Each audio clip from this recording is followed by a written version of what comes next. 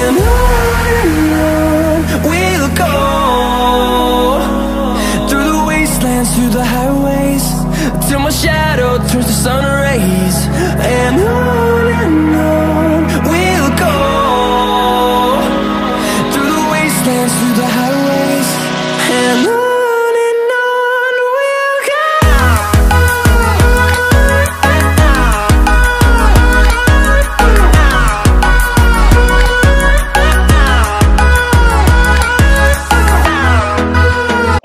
welcome back to another video on the channel.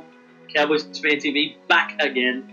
And uh, today we've got the weekend wrap up. So we'll be going through every game and uh, giving our thoughts on, on each game. And uh, yeah, starting with Dimitri. Yeah, so the first game was um Storm Broncos. Storm won 22 to 12. Um, yeah, I thought it was uh I think Storm dominated that first half and should have been further ahead if not for the Kafusi drop ball. And um, yeah, they just dominated possession and had massive field field advantage and should have taken um like, should have taken hold of it more of the game and they should have just won it in the first half. So yeah, I think they um need to improve if they're gonna go on and make the grand final this season. Uh, the next game was uh, the Knights and the Sharks.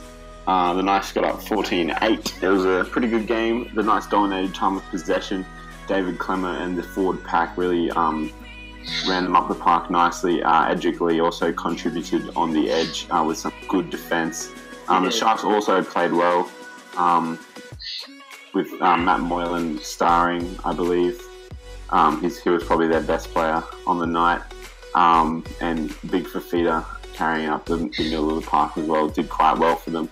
Um, and we'll look to see how they go next next week, bouncing back because they're, they're a good side, and I think they definitely underperformed against a uh, a pretty fiery new Newcastle team. Uh, yeah, the next game was Roosters versus the Rabbitohs. Um, probably one of the biggest rivalries in the NRL. Um, and yeah, as I as I tipped, um, the Rabbitohs did uh, were, were triumphant over the Roosters in a polished performance. I thought they were very slick, um, very good coming out of their own end, and yeah, they just looked more organised um, and and had better execution in the end. Um, I think some areas um, for the Roosters where they lacked was their composure. Um, towards the back end of the game, they did manage to score a couple of points, and uh, yeah, I think next week, uh, I think they they will back bounce back, but um, yeah, I I just think it was such a good display by the, the Rabbitohs. Yeah, and then we went uh, um, across the ditch to New Zealand for New- uh, Warriors beating Bulldogs 40 to 6. So, um, yeah, with that Bulldogs team, I think their back line just. Good tip. Yeah, I think the um the Warriors back line was just too strong. Fusi Tua, Maumalo, Kata, Hiku, the Tuivasa-Sheck. They're big bodies that can really carry the ball back at um yeah, and they made massive meters and that they just dominated that Bulldogs back line. They had nothing. Um the forward packs were uh, the Bulldogs forward pack was good, but I just don't think their backs are good enough to take it up um like to score the tries off the back of the forwards doing their job, moving them up the field. And their halves as well need to learn. Foran hasn't been in the game for a while now. Lewis just started, so uh, I think they need to pick up a good combination. And yeah, I don't think this year's going to be good for the Dogs. Uh, next up, uh, the footy returned to Leichhardt again, the spiritual home of the West Tigers. Uh, this was a good game. West Tigers and Manly. Uh, the Tigers got up 20 to six. Robbie Farah turned back the clock once again to 2005 and produced a pretty good performance, scoring two tries, um, kicking well, and also running out of dummy half well, which is what I believe that the uh, the Tigers won on the back of. Um, Manly played all right. It was a pretty dour game um, for their standards. I mean, not their recent standards at least.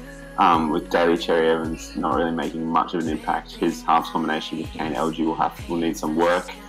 Um, Ryan Matterson and Esan Marsters also starred for the Tigers. All right, uh, we move next. One three hundred Smile Stadium. Um, wet Saturday night.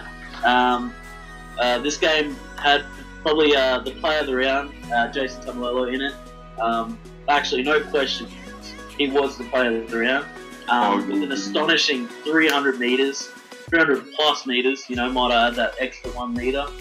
Um, but yeah, a really um, a really solid display in, in wet weather conditions for the Cowboys. Obviously, Taumalolo through the middle, such a wrecking ball for for for ball.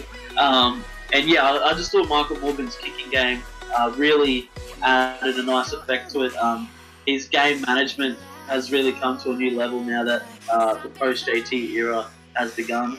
Um, and in some areas, the Dragons were good. Um, I thought, um, yeah, for them, I think they have too many ball players in the side, and that's where they'll need to pick up with their communication um, to win games down the track. But yeah, obviously, such a great display by the Cowboys, and fuck you, Dimitri, that was quick.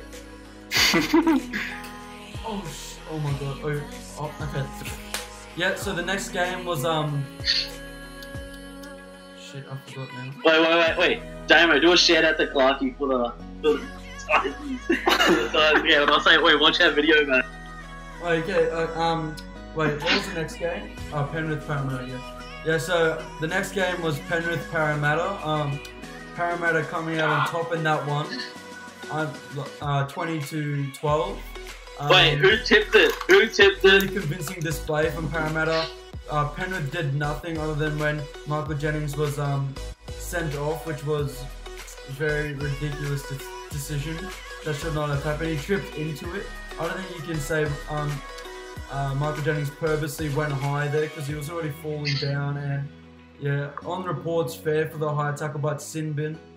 Yeah, that was a bit. And Penrith did capitalise, scoring two tries while he was off, but yeah, once he came back on, they just went straight back down the end. Parramatta scored, sealed the game, and yeah, I think Penrith were very um, clumsy with the ball. They had a few uh, sets on the line, and they were just doing ridiculous plays and knocking it on a lot in the slippery conditions. The backs were dropping at heaps un- under the high ball. So yeah, I think they really need to um, turn it around next week. Yeah, Ivan Cleary has a Fuck big me. task ahead.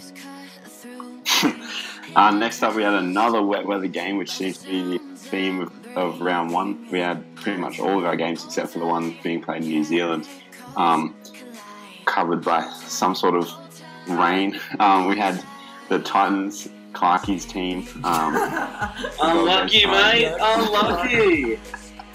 Zero points. Nah, it's alright. You support Canberra as well. yeah, against um, his, his other team, his new adopted team, the Canberra Raiders.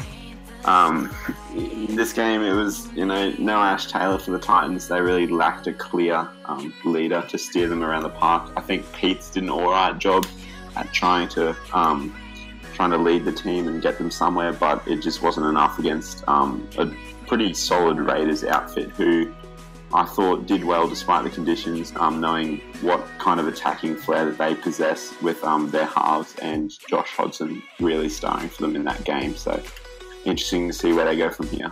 And that was 21 0 as well, by the way. Zero points. Alright, guys, that's our weekend wrap up. Thanks for tuning in. And uh, on Tuesday, we'll have the uh, tips for the, for the following week. So thanks and peace.